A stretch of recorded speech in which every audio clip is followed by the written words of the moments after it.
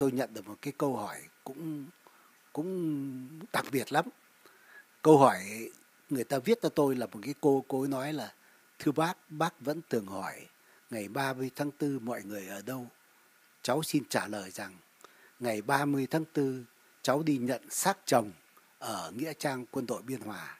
Còn về phần bác 30 tháng 4 bác ở đâu? Câu hỏi đó làm sao tôi trả lời được? Làm sao các viên trưởng và các chiến hữu của tôi biết đâu mà trả lời. Tôi cũng xin thành thật trả lời rằng là à, thưa toàn thể quý vị theo tôi nghĩ đó cái thế hệ chúng tôi đó mỗi người đều có một ngày 30 tháng 4 khoảng hơn 11 giờ 30 gì đó thì nghe à, tổng thống Dương Văn Minh đầu hàng. Thì à, và Việt Cộng đã vào tới tân tới à, tới tất cả các nơi ở trong thành phố rồi nhất là đã vào tới dinh độc lập thì lúc bây giờ gia đình ai cũng hỗn loạn lên. Và ngoài đường thì giống như là bướm lượn. Người đi lên kẻ đi xuống, chạy hỗn loạn ở ngoài đường để tìm cái hướng để mà trốn thoát. Không biết là trốn thoát đường nào, nhưng cứ chạy tới chạy lui còn riêng gia đình tôi. Thì lúc bây giờ tôi, ông già của tôi á, thì à, cũng làm cho trong quân đội. Thì lúc bây giờ cũng không biết chạy vào đâu nữa. Chạy vô phi trường thì bị pháo kích rồi chạy về nhà cứ chạy tới chạy lui thôi, không biết làm gì. Khi nhưng mà khi đã bị đầu hàng rồi thì tôi nhớ không, lúc nhớ lúc bây giờ là chỉ có ổn định lại công việc bằng cách là lấy tất cả những giấy tờ để đi đốt, đi chôn, đi xé. Không dám để được trong nhà. Rồi con cái thì lúc bây giờ nó còn nhỏ bé quá. Thì cả một cái, một người phụ nữ lúc bây giờ là cả một cái sự đen tối trước mặt. Nào là chồng sẽ bị ở tù, rồi con cái thì còn nhỏ, rồi cái sự sinh sống ra làm sao, rồi công an việc làm của như thế nào. Trời ơi, ôi thôi, tất cả một cái cái là việc ảnh trước mắt là đen tối. Không biết làm sao nữa thì chỉ có biết là phó thác, người ta sao mình vậy, tới đâu thì tới. Bây giờ là khi mà lo sợ quá nhiều rồi thì chỉ buông xả thôi, buông trôi thôi, không có còn nghĩ tới nữa. Cái sợ sệt của mình nó đến mức mà không còn nghĩ tới nữa, không biết chạy vào đâu nữa. Thì lúc bây giờ ổn định theo cái kiểu là người ta sao mình vậy thôi. Có chết thì chết, có sống thì sống. Rồi chuẩn bị cho cái sự tù tội của ông chồng. Và tôi thú thực với quý vị, khi mà mình chạy khỏi Việt Nam đấy, thì đơn giản là chỉ mình tìm cách chạy thoát mà cũng có một số căn bản của Pháp, ngày xưa quân đội Pháp ấy, là nó nói là là là là là Soviet keeper, tức là mạnh thằng nào thằng ấy chạy trong một cái giai đoạn nào đó. Thì mình cũng không có nghĩ gì nhiều. Thế nhưng mà bởi vì gặp những cái hoàn cảnh của mọi người đó, cái suy tư nó đi vào cái chiều sâu, nó có cái ý nghĩa hơn.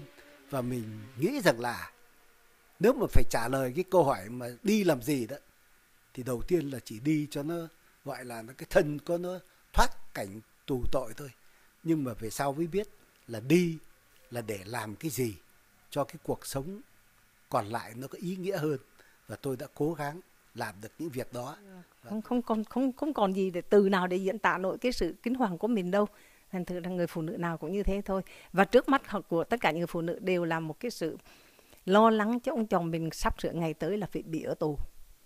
Không biết bao nhiêu ngày tháng đây là một người, và một người phụ nữ sẽ gánh gồng, nuôi con, rồi nuôi chồng, rồi lo tương lai cho con, rồi chồng mình như thế nào, và cái tương lai của như thế nào, toàn là mù mịt, không đoán được, không được biết được một cái gì hết trong tương lai. Đứa con gái tôi nó nói, mẹ ơi, dứt khoát phải cho con đi vượt biên.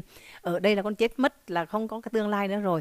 Nói không, đi là rất là nguy hiểm, nói là nguy hiểm cũng được, ra cá sấu nuốt cũng con cũng chấp nhận, hay là có chết trên biển con chấp nhận. Ở đây là vô, mờ mịt, không có tương lai thì ở đây làm cái gì? Đó là nửa phần bạn bè chiến hữu là đều ở tù, thì anh em ra có nói được là, nói với tôi một câu là, mày chạy thoát được là may, chúng tao ở lại nhục lắm.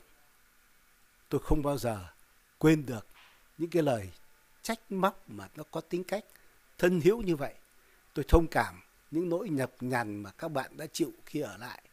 Nhưng mà tôi đã viết một câu chuyện, tôi nói là chịu những nhục nhằn thoát khỏi được cái à, cái cái cái tù đầy mà sang bên này mà gần như là những, tất cả những bạn bè còn sống đều sang được bên này hết, gặp nhau đấy thì tôi thấy đó là một cái chiến thắng đặc biệt. Một cái chiến thắng, một cái trận chiến mà vượt qua được. Bởi vì không một người nào mà bị gọi là, bị mà tù đầy mà mà theo cộng sản cả. Ngày xưa đó, Việt Nam Cộng Hòa còn chiêu hồi được hàng trăm ngàn người, nhưng mà dù trong cái gông cùng cộng sản đấy, cộng sản gần như là không chiêu hồi được ai, anh em ta vẫn mãi mãi là những người chiến sĩ dũng cảm nhất của tự do và cái trận mà gọi là chịu đựng trong ngục tù cộng sản. Và cái trận thứ hai là trận vượt biên thành công đó. Tôi nghĩ đó là hai cái trận, hai cái mặt trận, hai cái chiến thắng cuối cùng của miền Nam tự do.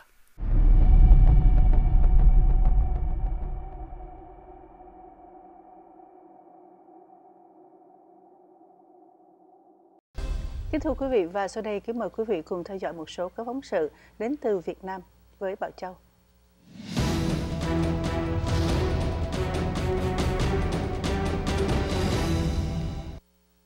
chính sách bảo hiểm xã hội mới, hàng ngàn công nhân của công ty Puyen thuộc khu công nghiệp Tân Tạo, quận Bình Tân, Sài Gòn đã biểu tình và đã bước qua ngày thứ Bảy. Cuộc biểu tình này có thể bùng nổ lớn khi mà công nhân của các khu công nghiệp lân cận cùng tham gia. Kính mời quý vị theo dõi phóng sự từ Việt Nam sau đây.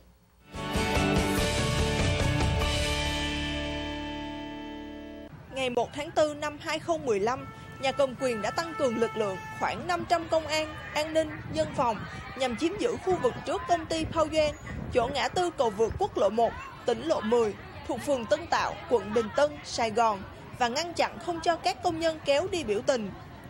Cuộc đình công này đã sang ngày thứ Bảy và có nhiều dấu hiệu sẽ trở thành cuộc biểu tình quy mô lớn khi công nhân của các khu công nghiệp khác như Tân Tạo, Vĩnh Lộc, Đức Hòa, Amata đều đồng tình hưởng ứng đình công để phản đối chính sách bảo hiểm xã hội mới.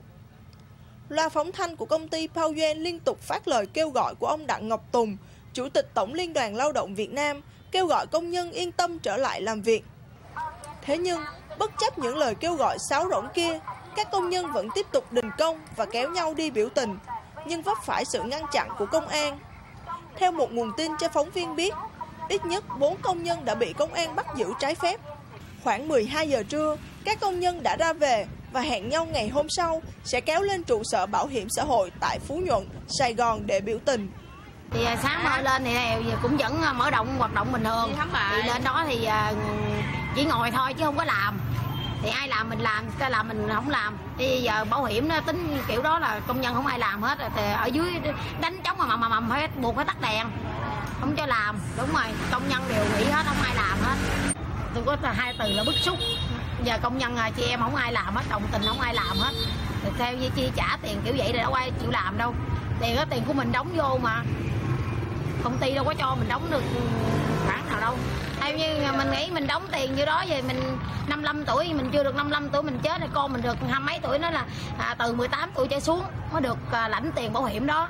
Bây giờ con mình hai mấy tuổi thì sao lãnh được tiền bảo hiểm đó? Công ty thì à, loa phát thanh của công ty à, là thông báo là vấn đề à, là có thay đổi về bảo hiểm xã hội là nói là bảo hiểm xã hội là sẽ cho chị em công nhân mình yêu cầu của chị em công nhân mình bên bảo lao động nữa cho chị em mình vào làm việc.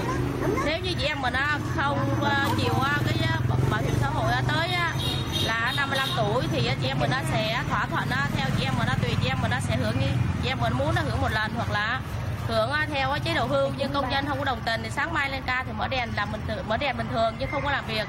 Thì sau đó tất cả công nhân không chịu làm ùa lên đồng thời tắt đèn rồi công nhân kéo nhau được một tuần đòi ra tới là bên bảo hiểm xã hội thành phố để giải quyết. Nhưng mà tới ngày hôm nay một tuần trôi qua, bên bảo hiểm xã hội vẫn không giải quyết gì, nên công nhân vẫn bức xúc, không chịu lên ca làm. Bây giờ là tới 9 giờ 10 giờ công nhân toàn bộ kéo nhau ra về.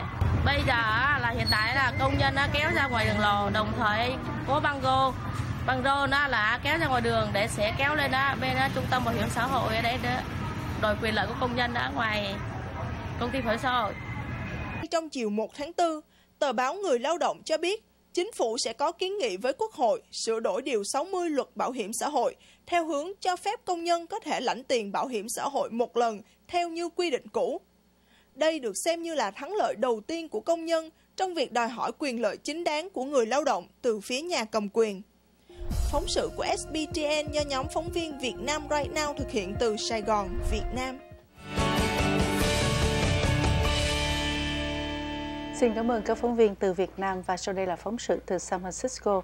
Thưa quý vị, buổi lễ tưởng niệm nhị vị Trương Vương được tổ chức bởi Hội Phụ nữ Việt Nam Hải ngoại Bắc California đã khai mạc vào lúc 12 giờ trưa ngày Chủ nhật, ngày 29 tháng 3 năm 2015 tại Trung tâm Văn hóa Việt Mỹ San Jose. Phóng viên Mỹ Lợi gửi về phóng sự sau đây. Kính mời quý vị khán giả theo dõi. Kính thưa quý khán giả đài truyền hình SPTN, lễ tưởng niệm nhị vị trương Nữ Vương được tổ chức bởi Hội Phụ nữ Việt Nam Hải ngoại Bắc California đã khai mạc lúc 12 giờ trưa hôm Chủ nhật ngày 29 tháng 3 năm 2015 tại Trung tâm Văn hóa Việt Mỹ San Jose. Sau nghi thức chào cờ và phút mặc niệm do cô Sơn Loan đảm trách, cô Cao Thị Tình điều khiển chương trình buổi lễ đã giới thiệu quan khách tham dự, gồm đại diện và thành viên của một số tổ chức hội đoàn. Đặc biệt có sự tham dự của giới chức thành phố, các vị dân cử như thị trưởng thành phố Milpidex, ông Jose Esteves, giám sát viên quận hạt Santa Clara, ông Dave Cortezi, đại diện giám sát viên Cindy Chavez là bà Vân Lan Trường, nghị viên San Jose, ông Askelra, nghị viên Nguyễn Tâm, ứng cử viên dân biểu tiểu bang địa hạt 27, kỹ sư Đỗ Thành Công. Tiếp đó là diễn văn khai mạc của bà Trần Thị Ánh Tuyết, Hội trưởng Hội Phụ nữ Việt Nam Hải ngoại Bắc California. Bà nói lên mục đích và ý nghĩa của buổi lễ tưởng niệm hai bà Trưng là để tri ân công đức của hai bà và để giữ gìn văn hóa truyền thống của người Việt Nam, trích đoạn. Trong ước vọng thực hiện công tác bảo tồn và phát huy nền văn hóa truyền thống của người Việt tại hải ngoại. Sau đó là phần giới thiệu về lịch sử cuộc khởi nghĩa của hai bà Trưng. Vào đầu kỷ nguyên một, hai bà là phụ nữ đầu tiên của người Việt Nam đánh đuổi quân xâm lược phương Bắc, giành lại chủ quyền cho Việt Nam, mở ra một trang lịch sử của cường của dân tộc, trích đoạn. Sự nghiệp đấu tranh của hai bà không những chỉ là gương sáng truyền thống cho chị em phụ nữ hải ngoại mà còn cho cả toàn dân tộc đặc biệt cho giới phụ nữ tại quốc nội trong quyết tâm chống bất cứ thế lực xâm lược ngoại bang nào Tiếp theo là lễ tế nữ quan đã được cử hành trang nghiêm và long trọng trước bàn thờ nhị vị Trần Nữ Vương. Quan khách đồng đứng lên để chứng kiến lễ tế do các thành viên của hội phụ nữ đảm trách trích đoạn.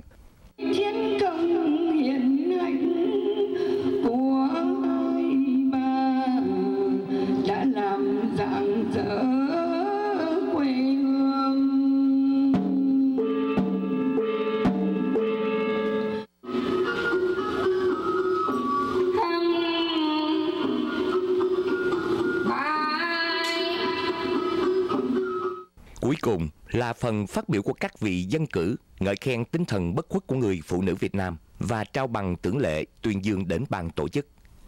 Buổi lễ tưởng niệm hai bà Trưng kết thúc sau phần văn nghệ dưới sự điều khiển của MC Sơn Loan. Những ca khúc ca ngợi tinh thần quật cường chống quân xâm lược của người Việt Nam được trình bày hợp ca, đơn ca của các thành viên hội phụ nữ và các thân hữu. Mỹ Lợi tường trình từ San Jose xin thân ái kính chào quý vị. Xin cảm ơn phóng viên Mỹ Lợi. Và thưa quý vị, vào tối ngày 2 tháng 4 năm 2015, Thưa hội Thánh Tin Lành trưởng nhiệm Việt Nam Fresno đã làm lễ kỷ niệm ngày Chúa Giêsu chịu thương khó trên thập tự giá. Phóng viên Vũ Nhân gửi về bản tường trình sau đây. Xin mời quý vị cùng theo dõi. Thưa quý vị, tối ngày 2 tháng 4 năm 2015, tại Hội Thánh Tin Lành trưởng niệm Việt Nam tại thành phố Fresno đã long trọng tổ chức lễ kỷ niệm Chúa Giêsu chịu thương khó trên thập giá. Có nhiều con cái Chúa đến dự và bày tỏ lòng thành kính suy tôn bằng những bài thánh ca tôn ngợi đấng cứu thế đã chịu chết thay cho tội lỗi của toàn thể nhân loại. Thưa quý vị, Chúa Giêsu chịu thương khó trên cây thập giá là nguồn sức mạnh là niềm tin của những người theo đạo. Trải qua 40 năm từ khi miền Nam rơi vào tay chính quyền Cộng sản đã khiến cho biết bao nhiêu người tin Chúa và các mục sư tại Việt Nam trở thành mục tiêu của sự ngược đãi.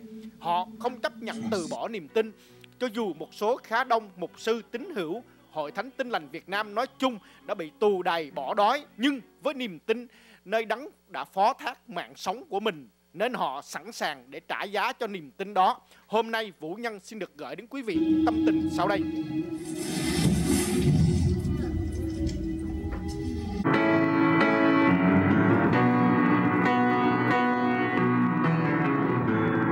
À, tôi cũng à, tới đây à, để à, cầu nguyện à, và nhớ ngày à, Chúa à, chết để cứu nhân loại trong đó có Thì tôi. qua tối hôm nay thì à, Kim rất là biết ơn cái công ơn của Chúa Giêsu đã cứu chuộc, chịu chết trên thập tự giá để cứu chuộc cái tội lỗi của nhân loại. Dạ, cảm ơn anh. Xin- Xin ông có thể cho quý vị khán thính giả đài truyền hình SBTN biết được ý nghĩa của cái buổi lễ ngày hôm nay. Đây là lễ kỷ niệm quan trọng, một lễ trọng ở trong năm để kỷ niệm sự chết của Ngài vì Chúa là ngôi hai của Thiên Chúa khi ngài đến thế gian này để chết cho toàn thể tội lỗi của nhân loại và ngài chết một cách rất đau đớn vì tất cả mọi lỗi lầm, mọi tội lỗi của chúng ta đều chất ở trên thân thể của ngài. Chúng ta hiểu được cái sự chết của Chúa để cho chúng ta được sống thì có lẽ là điều đó rất là quan trọng nhất đối với tinh thần của những người cơ đốc giáo. Dạ thưa mục sư xin ông có thể liên tưởng cái buổi lễ ngày hôm nay đến những cái người mục sư trong nước à, người ta đang bị à, chính quyền cộng sản Việt Nam dập đang bị tù đài dạ thưa mục sư. Tôi nghĩ đó là một hình thức uh, dưới mắt của chúng ta thì họ đang chịu uh, những vấn nạn từ nhà cầm quyền cộng sản. Nhưng đối với những người hầu vị Chúa thì họ biết rằng đây là sự thử thách của Đức Chúa Trời ở trong công việc của họ. Cái vấn đề mà bị ờ, giam cầm, bị bắt bớ thì thời nào cũng có. Tuy nhiên đối với chế độ cộng sản thì hà khắc hơi quá đáng đối với những người trong tôn giáo. Nhưng tôi nghĩ rằng đây là cớ mà Chúa Giêsu đã từng nói là Satan sẽ sàng sải các ngươi giống như người ta sàng sải lúa mì vậy. Cho nên đó là cũng là một cơ hội để cho quý tội tế Chúa ở ờ, tại Việt Nam bày tỏ mình trước Chúa. Ú Nhân tường trình cho đài truyền hình HBTN từ Hội Thánh Tin Lành thành phố Fresno, tiểu bang California, Hoa Kỳ. Xin chân thành cảm ơn sự theo dõi của quý vị. Xin cảm ơn phóng viên Vũ Nhân. Thưa quý vị, đến đây một lần nữa chúng tôi xin được tạm ngưng phần tin trong giây lát và khi trở lại sẽ gửi đến quý vị một số các tin tức trên thế giới. Mời quý vị nhớ đón xem.